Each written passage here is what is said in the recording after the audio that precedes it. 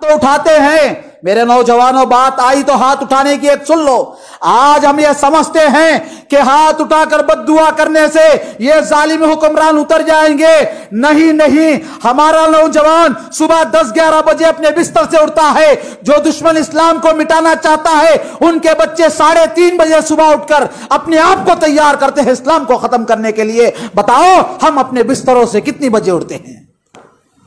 ہم ہمارے بست بستروں سے فجر ہونے کے بعد اٹھتے ہیں۔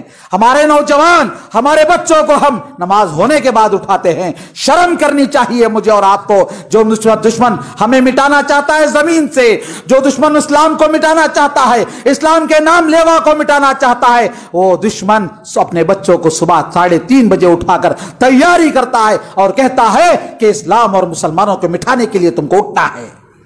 وہ لوگ اٹھتے ہیں، تیاری کرتے ہیں۔ ہم کیا تیاری کرتے ہیں؟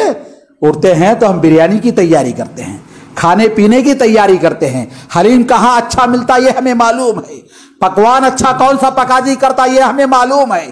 بریانی کون سی ہوٹل میں اچھی ملتی ہے، ہمیں معلوم ہے۔ اسی پر ہم نے ستر سال گزار دیے ہیں۔ دوستو، میری اور آپ کی زندگی اور ہم نے ہندوستان کی آزادی کے بعد سے ستر سال میری اور آپ کی زندگی کے اسی میں گزر گئے کہ مسلمان کھانے کے اعتبار سے مشہور ہو چکا ہے ملک کے اندر، لیکن تعلیمی اعتبار سے مسلمان مشہور نہیں ہو سکا۔ تالیس اخلاق کے اعتبار سے مسلمان مشہور نہیں ہو سکا۔ اللہ اس کے رسول کا محبوب انسان مسلمان نہیں ہو سکا ہو سکا ہے تو دنیا کا بہترین پکوان کرنے والا، بہترین کھانے والے قوم اگر کوئی ہے تو مسلمان ہے، نعوذ باللہ۔